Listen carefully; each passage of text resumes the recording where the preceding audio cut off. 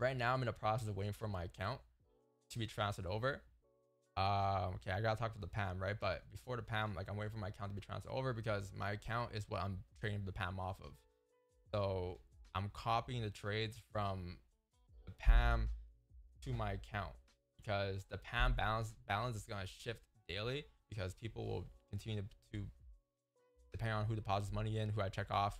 Um, but that's gonna continue to change. So I am gonna have my account trading on stream, but I'll be copying the trades over to the PAMM using um, the copy trader, which I can set a risk amount to. So the the PAMM will be only set to like let's say I pop a third lot on my account, on my regular account, the PAMM will risk like one to two percent per trade or one to five percent per trade on that um on that PAMM. I'm pretty sure we'll keep at around like two percent at most to be honest.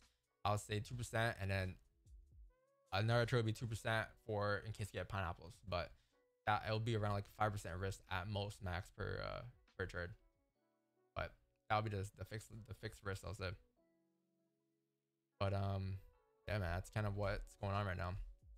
The PAMM I'm really excited for, and I'm glad it's happening now and not when we're at like peaking 64 wins because at least people can realize that okay, well, yeah, this guy was hot at one point, but like I've been warning you guys, a loss is gonna come, right? A lot's gonna happen. So now that you guys see the loss, you guys can be like, okay, there's risk to this, like it usually is. So I'm glad it's happening now compared to like if it were to happen when we're all when we're at our high, our peak, and then you guys were to see losses on afterwards, right?